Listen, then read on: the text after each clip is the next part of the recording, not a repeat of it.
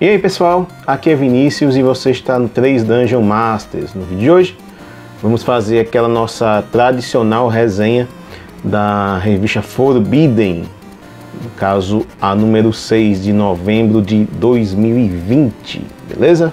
Caso você ache interessante a revista, ache interessante a resenha, é, o link para você assinar ela está aqui na descrição do vídeo, certo? Caso você goste desse vídeo, ache interessante, dá aquela curtida para nos dar aquela força. Se você é novo aqui no canal, considera se inscrever. Temos muitas resenhas, muitos vídeos de dica, algum resposta, alguma notícia, alguma treta, alguma fofoca. E estamos aqui para isso, beleza? Também nos siga nas redes sociais que estão passando, que estão aqui embaixo, né? Ou aqui no caso do lado, para para maiores maiores informações, um monte de coisa que a gente posta lá, beleza? Mas vamos aqui para o que interessa. Uh, temos uma capa bem bonita aqui, ó, da Forbidden. E aqui no cantinho, uh, vemos que temos uma matéria interessante sobre cultos inomináveis e uma matéria bem legal sobre X-Crawling, certo? E essa, essa Forbidden desse mês é muito focada, tem muita coisa de aventura. Tem basicamente três, três não, quatro aventuras uh, ou elementos. Cinco, né? Porque tem a do, do Space Dragon também. Elementos para você montar, criar e também aventuras já prontas, beleza? Então vamos lá. Bem, iniciamos aqui pelo conteúdo, pela matéria do Vitor Bornel sobre cultos inomináveis, beleza? Cultos inomináveis é um RPG que foi é, financiado recentemente pela Burô, no qual uh, é, é, tem temática né, do Lovecraft, Cthulhu, essas coisas todas, uh, dos mitos. Só que ao invés, por exemplo, do Call of Cthulhu e do Racho do Cthulhu, Racho de Cthulhu, no qual você joga com um investigador né, do, do culto, ou uma pessoa que está tentando impedir que os cultistas é, consigam abrir portais para trazer os males e deuses antigos para esse mundo. Aqui em Cultos Inomináveis você faz justamente o contrário, você joga com cultistas que querem trazer tudo, toda essa bagunça aí, todo esse 2020 para o mundo. Então, o jogo é, é, é, tem essa, essa perspectiva, né? Uh, o que a gente pode dizer? O, o, jogo não é muito, não é muito leve, certo? É um jogo um pouquinho pesado. É, tão ou até mais que o Cult, que está em financiamento coletivo. acho que no dia da gravação acaba o financiamento coletivo, mas tem um vídeo aqui na, na, no card falando uma resenha a respeito do Cult, certo? Cultos Inomináveis é um jogo até mais pesado. Foi, foi financiado recentemente pela, pela Bureau, foi entregue, né?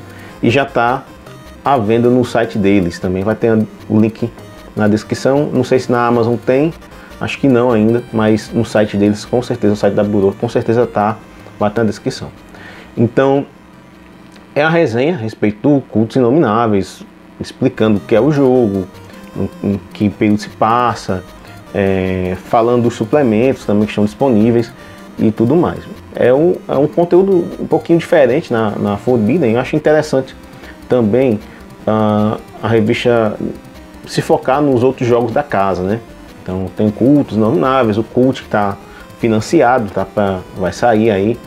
Então é bom, é sempre interessante ter esse material, né, para outros jogos além do Dragon, certo? Então vamos aqui para o próximo.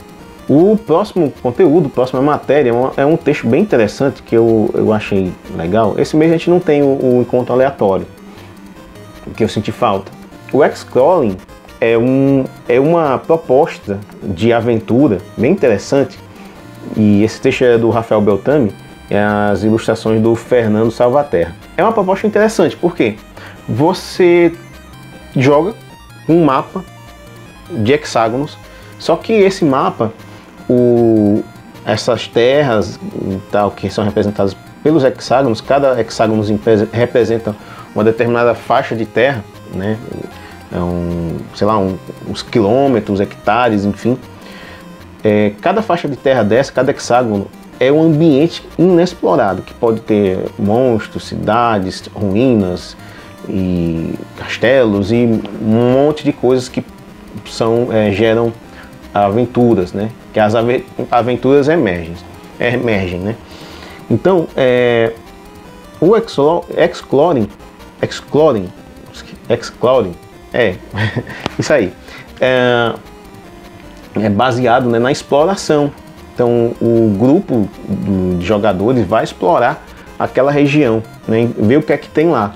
Então, esse texto, basicamente, ele mostra um hexágono, um hexágonozinho, e o que pode ter nesse hexágono. Vou até mostrar aqui, por exemplo, esse aqui, ó, é o hexágono da, no material adicional tem ele, ele solto para impressão, certo? Esse é o hexágono. Então, o que é que tem nesse hexágono? Então, nessa matéria tem algumas tabelas, né, no qual você pode montar, né, o, o que vai ter aqui nesse, nessa região. Né? Tem uma floresta, tem rio, tem uma cachoeira, tem uma queda d'água, enfim, tem uma clareira. Então, nesse, é, nesse hexágono tem algumas tabelinhas que você pode montar né, os encontros que são possíveis nesse hexágono. É uma proposta de jogo é, bem interessante para o um mestre, né, que não quer montar uma, uma história, um plot, um, um quer deixar não. O grupo, vamos andar, vamos andar, vamos viajar e vamos criar aventura conforme vocês vão viajando. Então é uma proposta bem interessante também nesse sentido. Né? Não exige tanta preparação assim prévia do, do jogo. Acho você rolar as tabelas uh, um pouquinho antes da partida, né?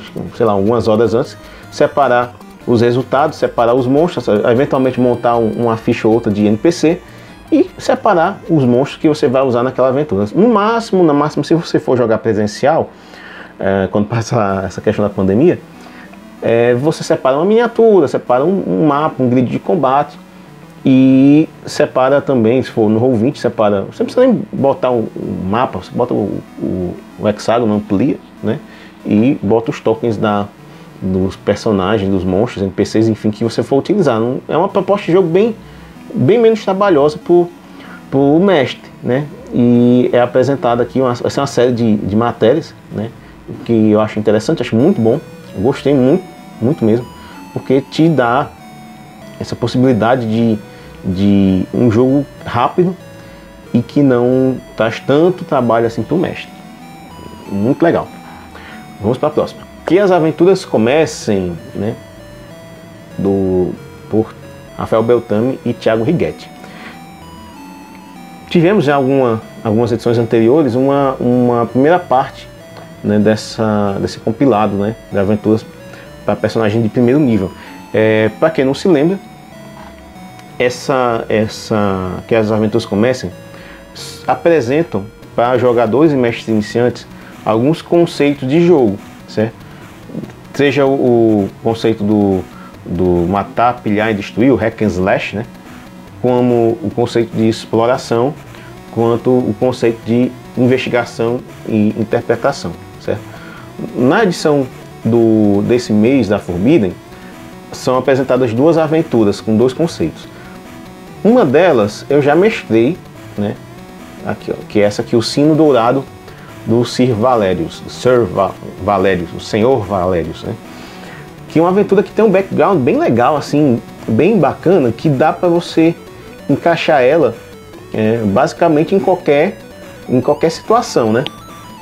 Basicamente, é, você tem que transportar uma carga né, de um ponto A a um ponto B e tem uma intercorrência nesse, nesse item. Basicamente é uma aventura que, no qual vai ter combate. Né? Basicamente é isso. Mas com um background bem legal, assim, que dá para você encaixar na sua aventura, na sua campanha, né? Dá para você dar uma ampliada nela para se tornar um pouco mais difícil, sair uma aventura de, de primeiro nível para um nível mais elevado. Mas assim, o, pelo que eu me lembro, quando eu mestrei ela, ela era bem mais simples assim do que está aqui. Foi dado um, um, um, refinamento melhor à aventura, que ela ficou bem legal, bem interessante. Né? O final dela é o mesmo, o, o, o propósito dela é o mesmo, mas basicamente essa é uma aventura de combate, certo? Que vai demonstrar aos jogadores, ao mestre, como funciona a questão do combate no Old Dragon, certo? É uma aventura para o Dragon, mas dá para você adaptar para qualquer outro, qualquer outro sistema. Ela é simples de adaptar, né? Basicamente é encaixar um, um, um, monstro, né? né? Do bestiário do sistema que você vai utilizar, não tem outra outra especificidade. Então é uma aventura muito simples e muito é, muito simples de ser adaptada para outros sistemas. A outra aventura é Lobo em Pele de Cordeiro. Basicamente uma aventura de investigação e interpretação. Certo? Também facilmente adaptável para qualquer sistema. Certo? Essa aqui eu não mestrei ainda. Ela é uma aventura de primeiro nível, mas eu li ela. Eventualmente eu mestro. Já mestrei aventuras hum, semelhantes a ela. Certo? Mas assim, essa aventura, ela basicamente você não não precisa com que, não precisa que os jogadores façam rolagem de dado. Basicamente, o, mestre descreve as situações, escreve tudo, é, propõe um mistério né, e os jogadores vão investigar, vão perguntar ao NPC, aos NPCs e vão botar a cabeça para funcionar. Basicamente, a aventura não exige teste. Isso mesmo, assim, você não vai passar uma aventura inteira praticamente sem precisar rolar dado. Para algumas pessoas isso pode ser meio frustrante. Tem muita gente que gosta de ficar rolando dado, pá, aquela coisa toda. Gosta de combate, tudo. Essa aventura não tem combate. Mas para outras pessoas que preferem aquela parte mais de, de do roleplay, de interpretação e tudo, é uma aventura muito interessante, muito boa, que serve né, para demonstrar para os jogadores que o RPG não é somente luta e combate mas tem também essa parte de interpretação, essa parte de investigação de o jogador pensar.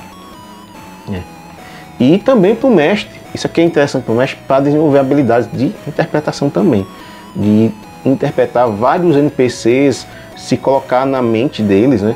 na ação, o que é que esses caras estão pensando, o que é que esses caras estão, como esses caras estão agindo.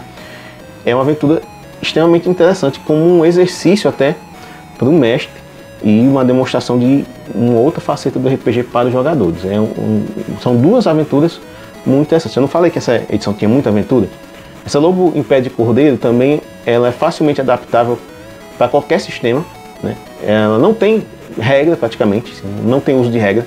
Então você qualquer sistema dá para você usar ela. E assim também dá para você utilizar em qualquer nível. Aqui é uma aventura recomendável para nível 1 mas basicamente ela pode ser utilizada em qualquer nível de personagem. Beleza? Vamos para a próxima matéria. Aqui temos a última parte, né, o gerador de aventuras para o Space Dragon. Aqui basicamente, como nas outras partes, são tabelas, né, que está a parte 2, mas é a 3 já. Ah, do, eh, foi escrito pelo Álvaro Botelho. Né. Basicamente são tabelas para você gerar aventuras para o Space Dragon. Não tem muito o que explicar não, certo? Uh, temos um vídeo que a gente usa uma, um método semelhante para montar a aventura, certo? Tá aqui, na, tá aqui no card, aqui em cima, pode ver para ter uma ideia de como fazer. Mas basicamente aqui você rola é, 2d6, vai comparando com as tabelas e vai depois fazendo as conexões com as informações para você montar a sua aventura, certo? Não, não tem grandes mistérios não. Então vamos para a próxima matéria. Pronto, tomos de magia. Esse tomo de magia aqui, ele é, é mais curtinho, né? Eu senti muita falta dele na, na, na edição passada da, da Forbidden, mas ele está aqui nessa. Uh, mas o engraçado é que, que nessa edição ele ficou meio deslocado. Eu acho que seria interessante na edição passada. Na edição passada fez falta. Mas, é, mesmo assim, é um conteúdo que eu acho muito legal, que trata exclusivamente de magia certo? Ah, é o capítulo 4 dele. Nesse Tomos de Magia, ele trata de um, de um, tema que é abordado no livro básico do Old Dragon, mas não é aprofundado em canto nenhum. Nenhum dos suplementos, nem outros oficiais, nem extra-oficiais, feitos por outras editoras independentes, enfim, é, aborda esse tema. Aqui ele traz, que é você modificar a magia. Você pode é, modificar as magias no Dragon, certo? Você pode dar aquele toque especial na, na magia. Aqui ele dá algumas regras para você fazer essas modificações, certo? De maneira que não fique uma coisa exagerada. Ah, desde aquela coisa mais cosmética, né, só da aparência da magia, desde aumentar o poder, diminuir o poder, alcance, dano, essas coisas todas. Ele define bem, dá regras que definem bem como fazer isso. Me lembra muito, uh, se você for um jogador mais antigo de D&D, me lembra muito os talentos metamágicos do D&D terceira edição, certo? Acho que há uma, uma inspiração é, bastante grande nisso. Os talentos metamágicos do D&D terceira edição, quem não conhece, eles é, alteravam justamente essa questão da magia, né? fazendo com que a magia, como falei, fosse mais poderosa, na maior parte das vezes, fazendo que o, o alcance dela fosse maior, a área, de, a área de efeito, a duração, o dano, mudar elementos, sei lá, uma bola de fogo virar uma bola de gelo, uma bola de energia, enfim. É, fazer essas modificações.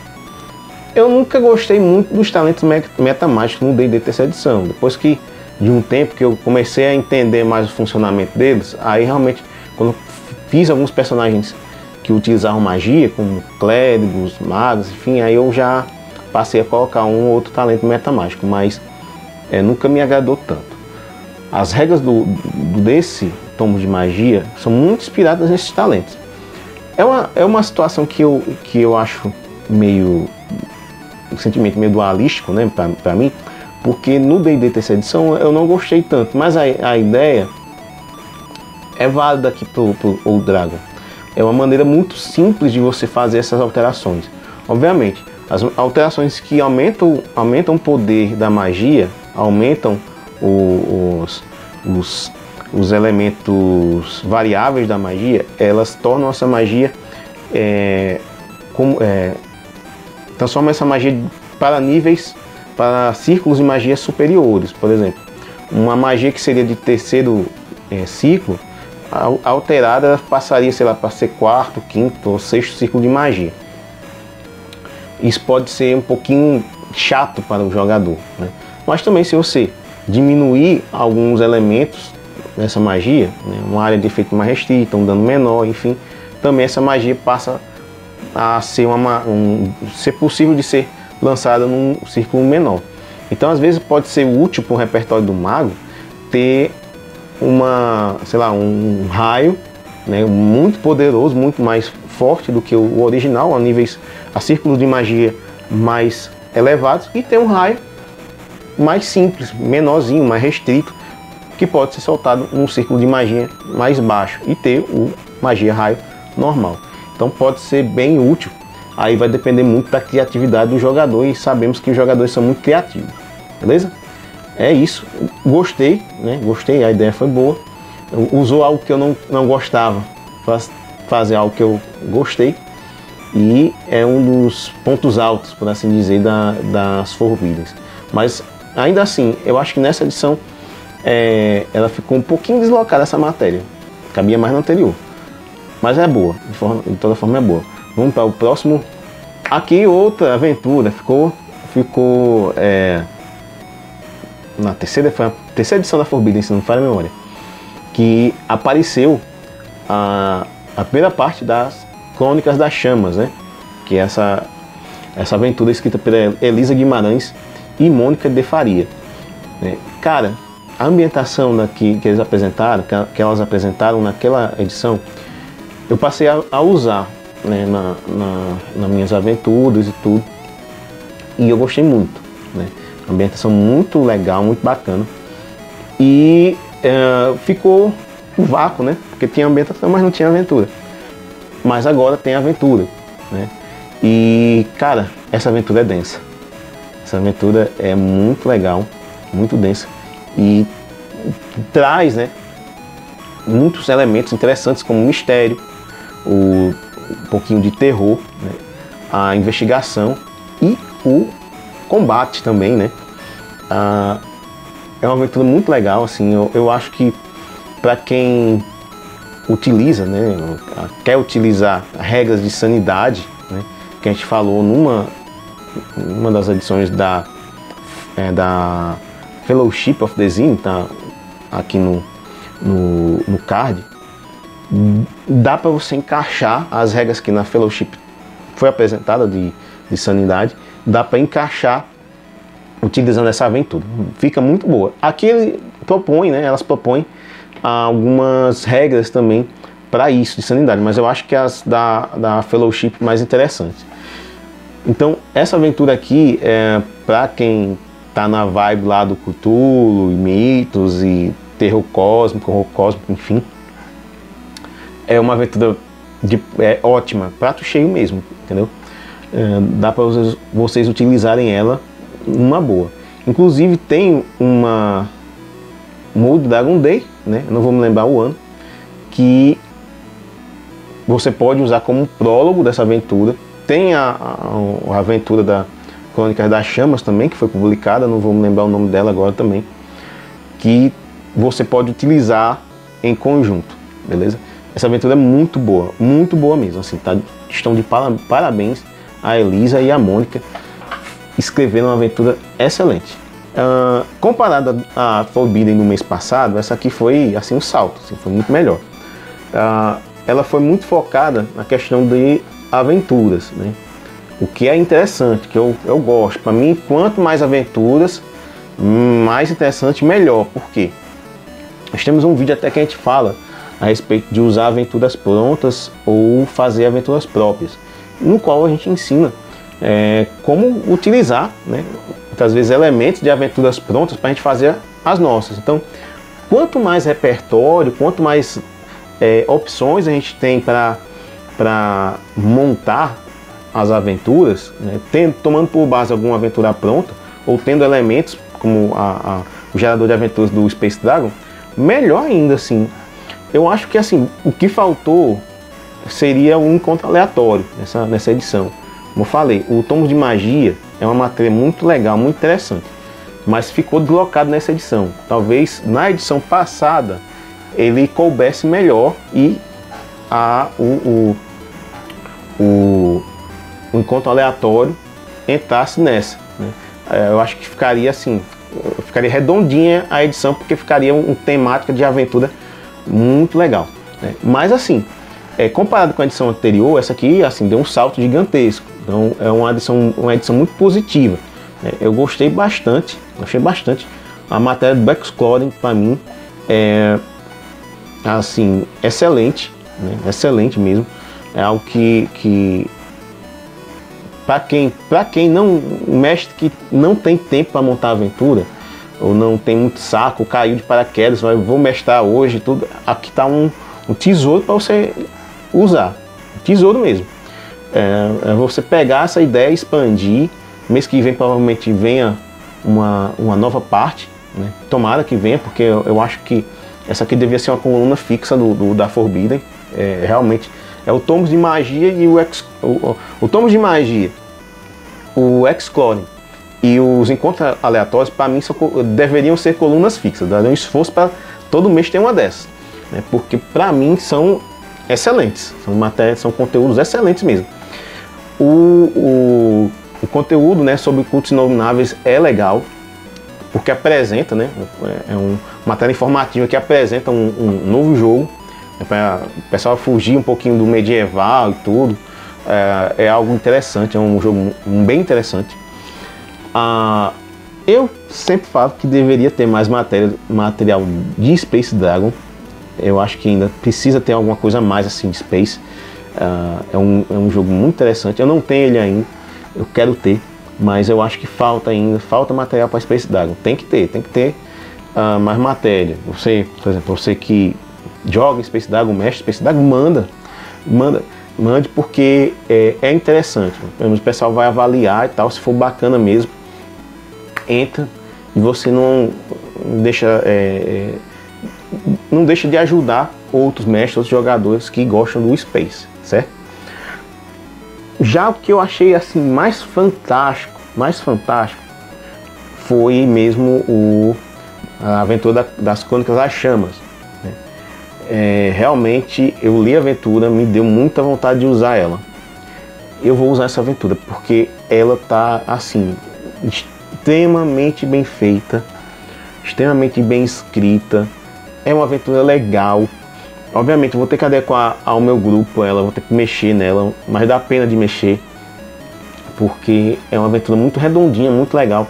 é, porque eu vou ter que adaptar, né? A gente tem que adaptar as aventuras para o grupo que a gente está jogando, para o grupo que a gente está mestrando, para o grupo, para a realidade do grupo, para o gosto do grupo, para o nível que o, os personagens estão e pra, até para o, o metaplot, né? O plot de aventura que a gente está jogando, mas dá para encaixar ela, pelo menos na minha mesa dá para encaixar ela bem, bem legal. Só vou ter que alterar alguma coisa ou outra, mas é excelente, é excelente mesmo. Sim. Eu espero, né, como falei, uh, que tenha mais dela, né, tenha uma continuação, né, e tenha, tenhamos mais aventuras das Crônicas das Chamas, né. Que as aventuras comecem. O que faltou no, no que as aventuras comecem foi um texto mais texto explicativo, né, explicando mais uh, como utilizar essas aventuras. Né. Para mim, o texto explicativo está na edição anterior, né, na, quando, na, quando foi publicada a primeira mas eu acho que precisava também para explicar também essa, essa forma de jogar diferente, é, principalmente da segunda aventura. A primeira aventura é mais simplesinha, é um, é um de combate basicamente, mas a segunda, a segunda aventura já exigiria uma explicaçãozinha um pouquinho melhor do como o mestre conduzir esse tipo de aventura, certo? Mas no mais, no mais, assim, a minha avaliação é muito positiva dessa edição, certo? E, então, de parabéns mesmo, porque ficou muito legal, beleza? E ficamos por aqui. Se você achou interessante a Forbidden, há os links para a, a assinatura aqui no, na descrição do vídeo. Assinaturas a partir de R$ reais. Ah, quando você pegando assinaturas de a partir de 12 reais, que é a que eu faço, você tem desconto na loja da Burô. Agora no no, na Black Friday, comprei umas coisas lá, a gente vai resenhar logo logo, e peguei o, o, desconto da Black Friday mais o desconto da, da Forbidden e já matei metade do frete, né? só com o desconto da Forbidden. Então, é, compensa, bem legal. É, as Forbiddens anteriores estão já disponíveis para você adquirir se você não assinou ainda e quer pegar as edições anteriores, já estão disponíveis lá no Dungeon Niche, também vai ter link aqui na descrição do vídeo, beleza? Se esse vídeo foi útil para você, foi interessante, considere dar aquele joinha. Se você é novo aqui no canal, é, toda semana a gente tem vídeo novo aqui, considera assinar também, beleza? Se você gostou desse vídeo, repassa para os teus colegas de, de grupo de jogo, outros mestres, enfim, e pelos grupos de RPG no WhatsApp, dá aquela compartilhada, beleza? Muito obrigado por nos acompanhar e até o próximo vídeo.